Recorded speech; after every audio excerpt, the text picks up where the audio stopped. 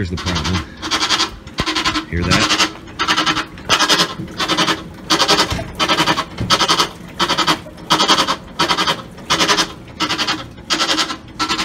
If you guys have a washing machine that has the controls in this configuration that has this type of start button with the with the uh, uh, the gray rubber and the pause and then it has a dial like this then it two and sometimes three controls over here you really need to watch this video these come under a couple of different brands uh, Admiral I think Amana is one uh, Whirlpool and Maytag uh, for sure. I think those four brands, but maybe even others that come in this exact same configuration, and uh, it's the exact same washer. So this, the fix that I just applied to this could apply to your washer.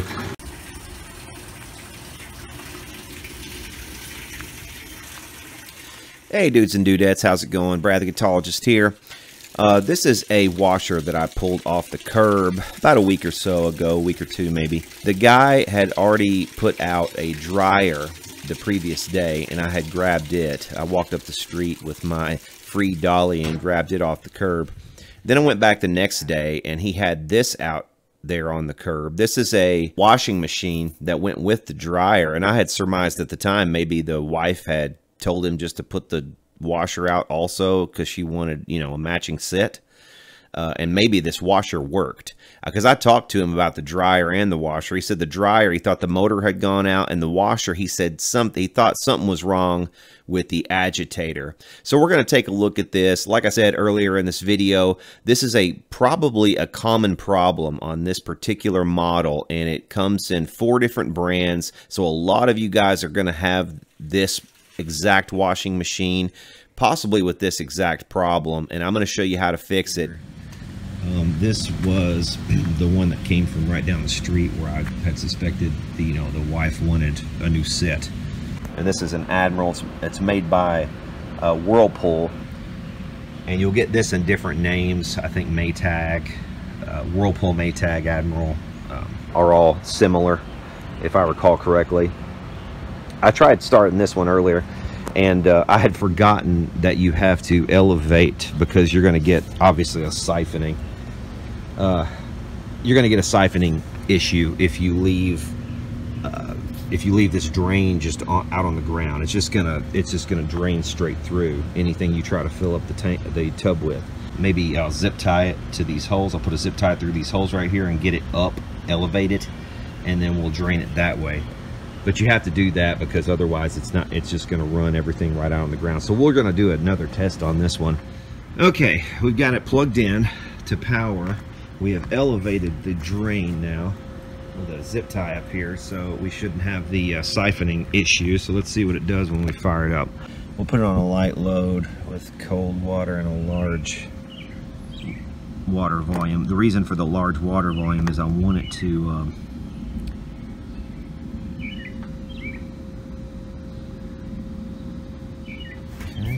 it going to go? Yeah, but anyway, the reason for the large water volume is I want it to uh, rinse out as far up the tub as it can what, you know, any grime that might already be in there. Maybe I didn't hold it long enough. Or do I have to push it twice? I don't know.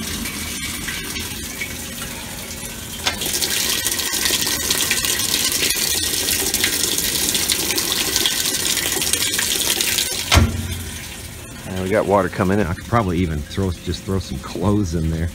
But if this one completes like the last one did, I'm to go ahead and probably conclude, like I said in the beginning, that this particular machine was just a case of the wife or whoever, you know, it might even been the husband these days, just wanted a uh, matching set because uh, the first thing that they threw to the curb was the dryer. This guy. We're going to look at it Probably not in this video, maybe another one. I do have the uh, power cable for it now. I don't know. It was maybe uh, $12, $13, something like that. I think I found it one for. Uh, so I won't have much invested if I can fix this um, with just a cord and maybe some cleaning out. I'm thinking, you know, because a lot of dryer issues, they end up being a case of just like a, a, a thermal shut off Um, you know, everything inside is so packed with lint that and it hasn't been cleaned out in forever.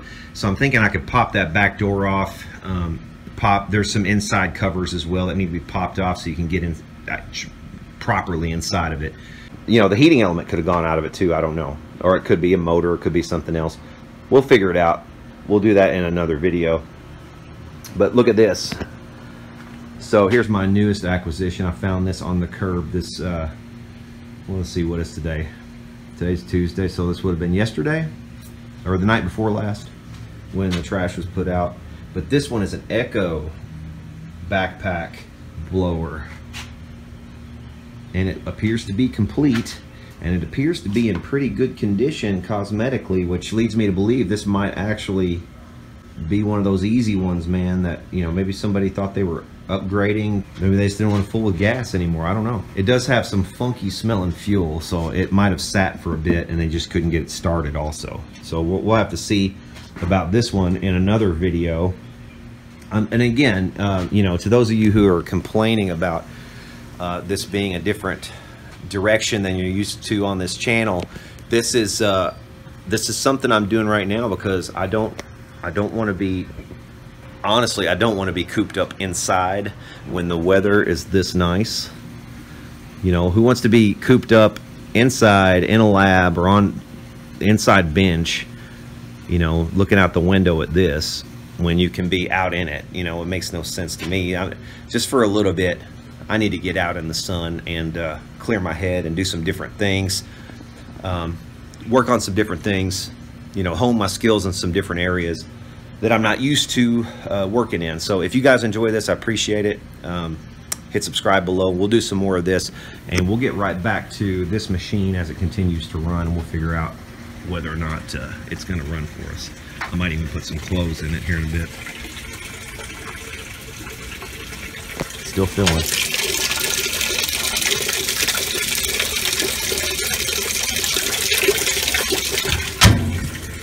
This one doesn't even smell bad. This one doesn't smell bad at all.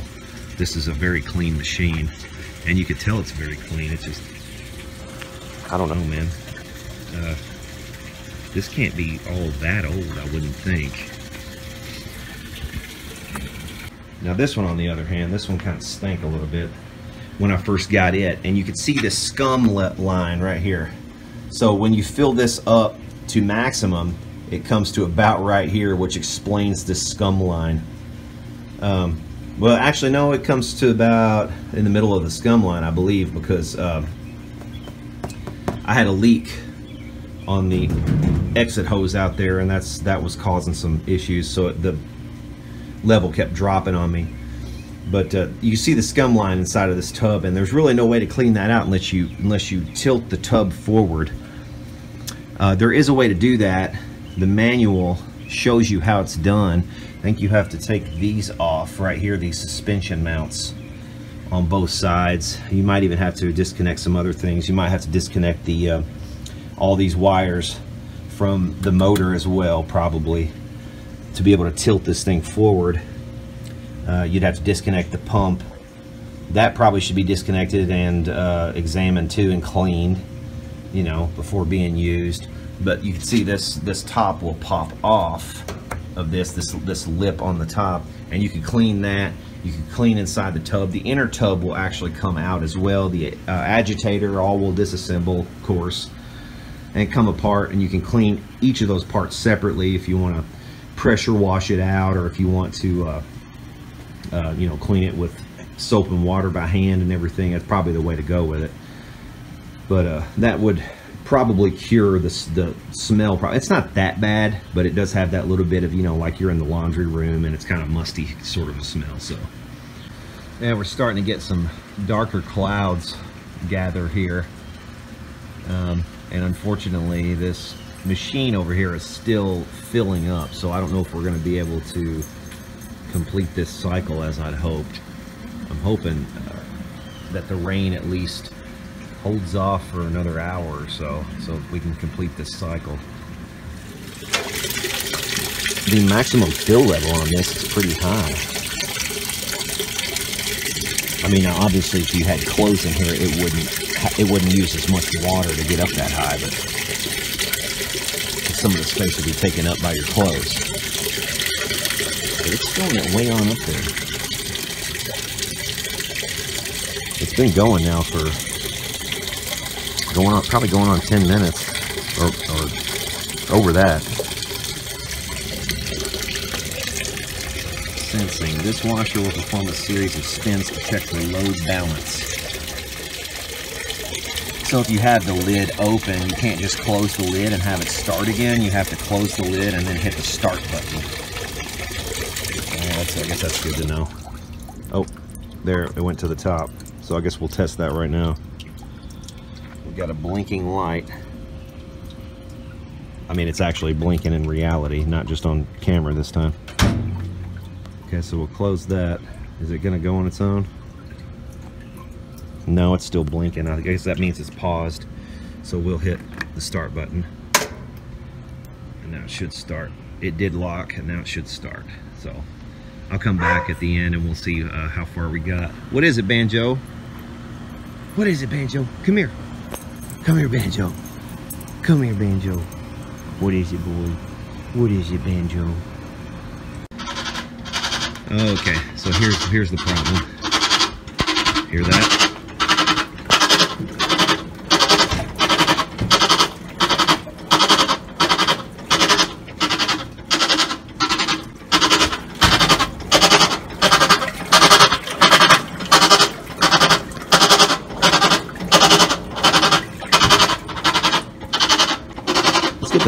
This thing while it's in this cycle so I can try to see what's causing that problem. I'm guessing it's some kind of bearing. I don't know.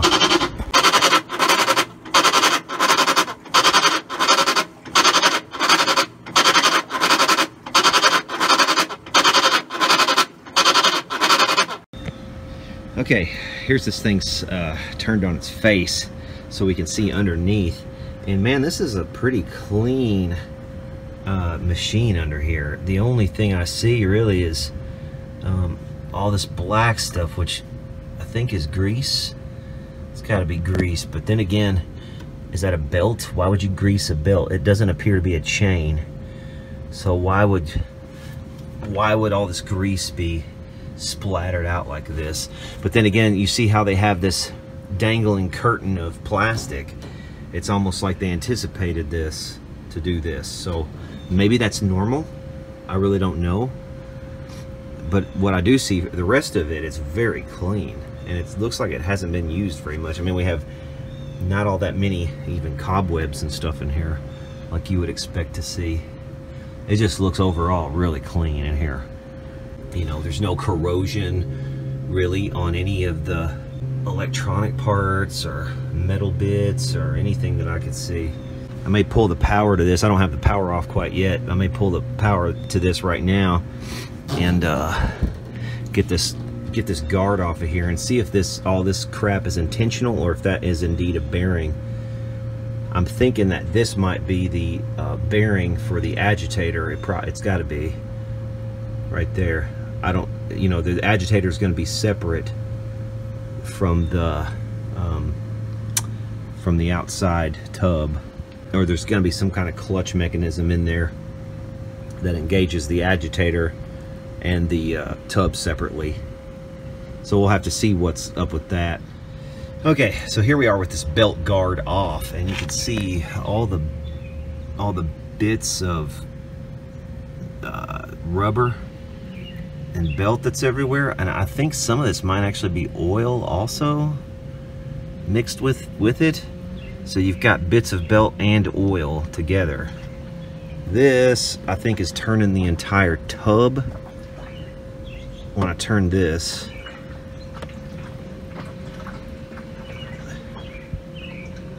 I don't know, maybe.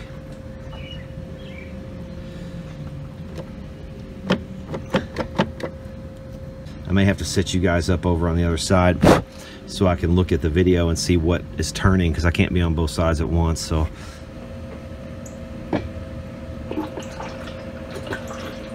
okay is that the full tub or the agitator only feels like the full tub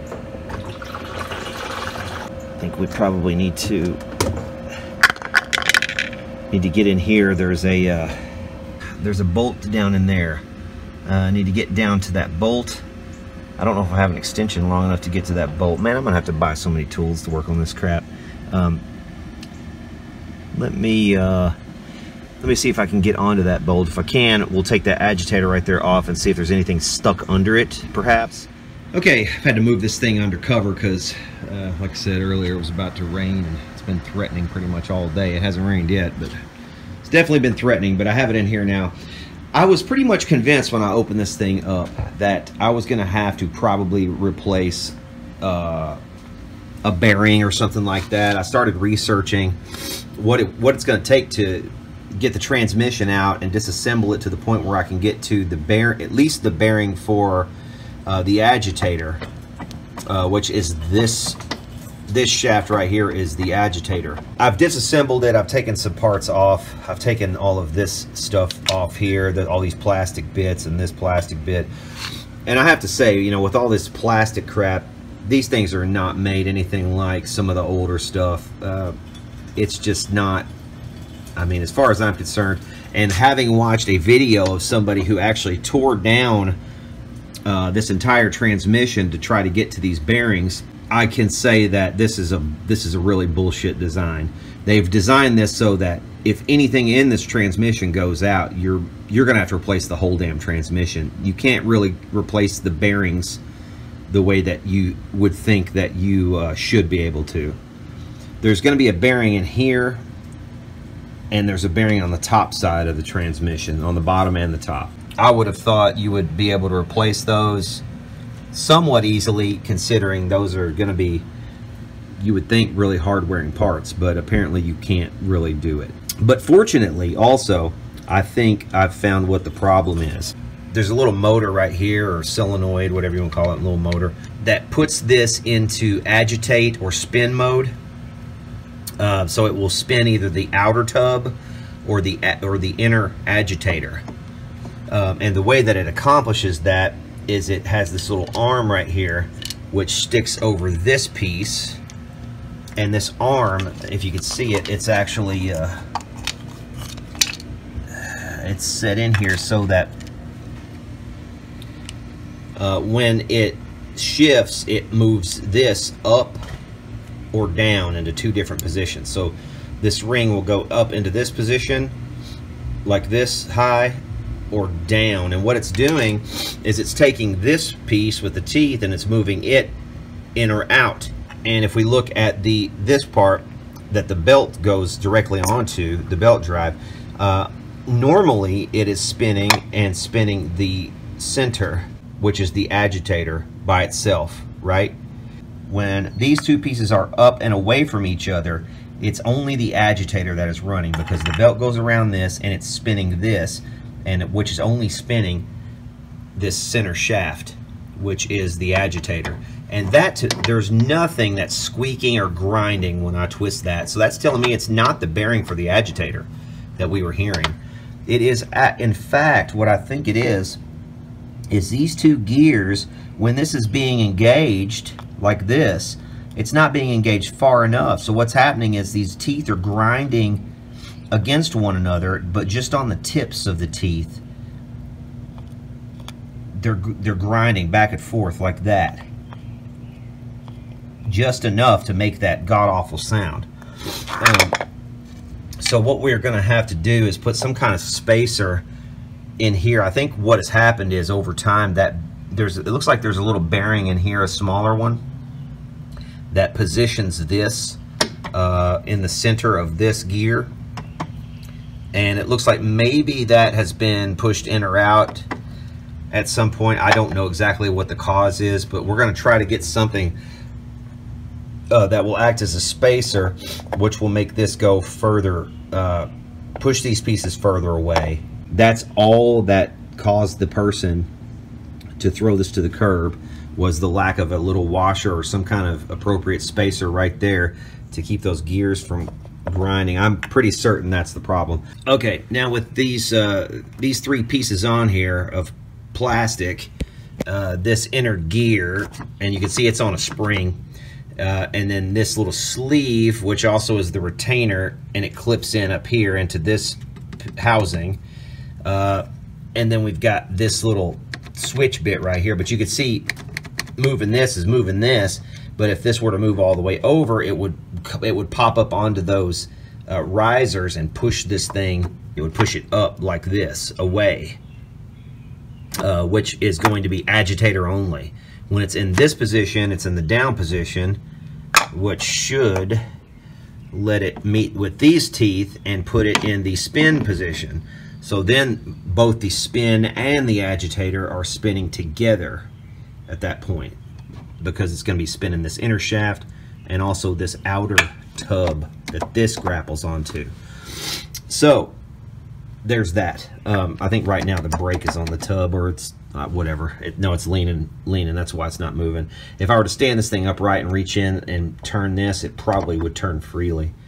Um, but the problem is, once again, when this is in the down position, it's making, it's making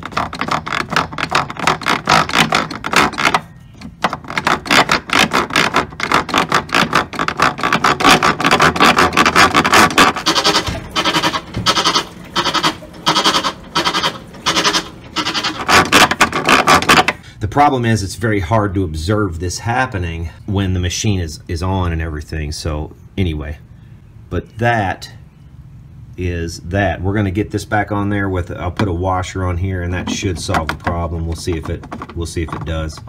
Okay, so after some more thought about this, this is going to have to be a very specific size washer. It needs to be able to go uh, over this threaded part and also over this part back here and up into there.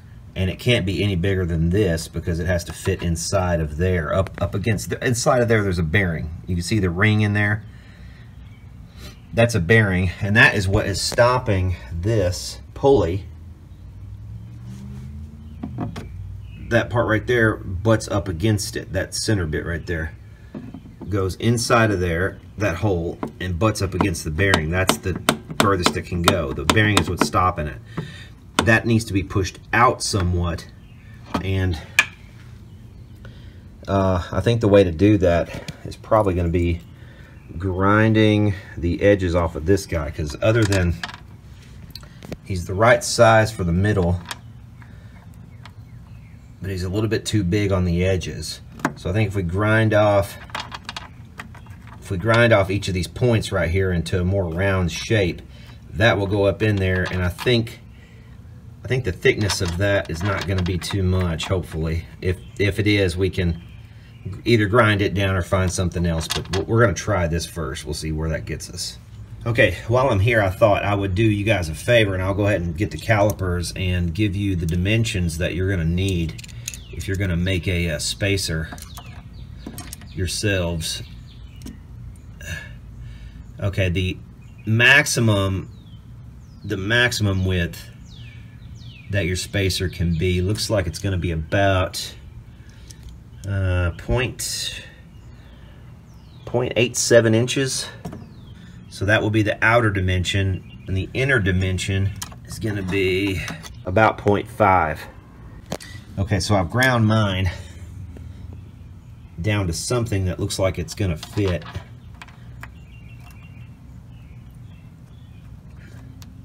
And that's good. It's it's gonna just slip right in there and out of there easily, so I should be able to reach up in there with something and pull it out easily if I need to uh, grind it down.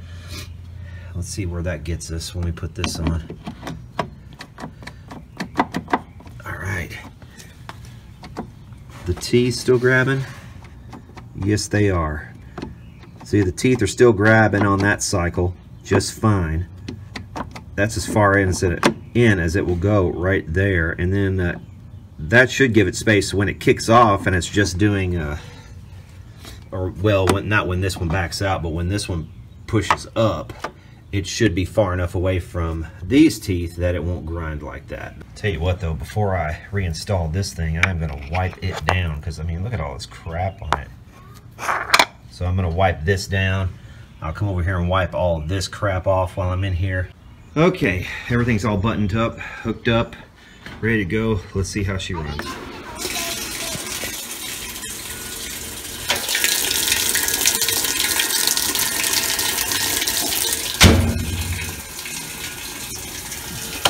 I wonder if I can change, can I change that midstream? Kind of change it to small. I don't use as much water. Really what I'm trying to see is whether or not the, uh, well, two things actually. I want to see, first of all, whether my spacer worked to solve that grinding gears problem and also whether uh, this thing will make it through an entire cycle. And if those two things hold, then we've got a fixed washer. Okay, here we are. We're on the agitator cycle. And this thing is as quiet as can be. No grinding gears. See it moving back and forth in there. So it is moving. It is agitating. Now that's a little bit of a longer agitation. So this, the fix that I just applied to this could apply to your washer. Don't necessarily uh, make the mistake I almost did and assume that you have a transmission bearing problem when in actuality it's just a spacer is all you need to fix this washing machine. So I hope that helps somebody. I hope you guys enjoyed this video. If you have, hit subscribe down below for more videos like this and we will see y'all later.